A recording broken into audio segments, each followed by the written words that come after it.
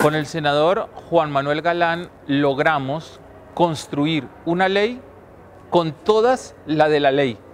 garantizando inversión pública automática y rápida como una respuesta concreta para los trabajadores ciegos y con baja visión de Colombia, para que el empresario colombiano no